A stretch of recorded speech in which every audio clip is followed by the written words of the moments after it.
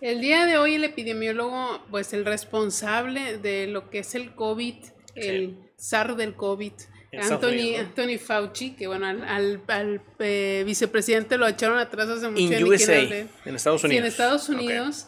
Este, bueno, fue, esto fue el martes en realidad. Habló con el Congreso de Estados Unidos y dijo que era alarmante el aumento que han tenido en cuestión de casos. El aumento pues es impresionante. Ahorita ya hay 25 estados de los Estados Unidos que han tenido las cifras más altas que hace dos semanas.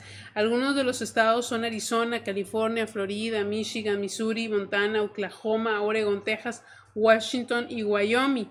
Y dice que es súper importante poder rastrear, seguir haciendo las pruebas, porque, bueno, el presidente ya habló de reducir las pruebas. En el LA Times se dice que California ya se está batallando para que te hagan las pruebas, está habiendo un, una escasez y que es súper importante ya no mitigar Dice, ya no, ya no podemos nada más estar mitigando, hay que controlarlo porque no se nos puede adelantar el otoño. En el momento que se nos eh, llegue el otoño, esto va a ser un incendio forestal. Pues sí, e, e, es que imagínense ustedes en el que no logren controlar, ¿sí?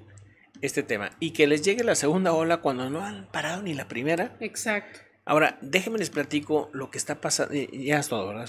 Eh, no, eh, más o menos eh, el Instituto de las Métricas, ya, ya ven que habíamos dicho más o menos las estimaciones, que eran entre 100 mil a 240 mil fallecidos por Estados Unidos en su peor proyección. Y bueno, Donald Trump la rebajó en un punto.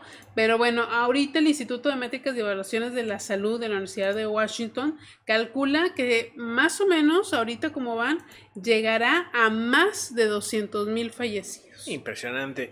Bueno, pues déjenme les platico lo que pasa en Pekín. Ya ven que empezó una segunda ola, un segundo brote.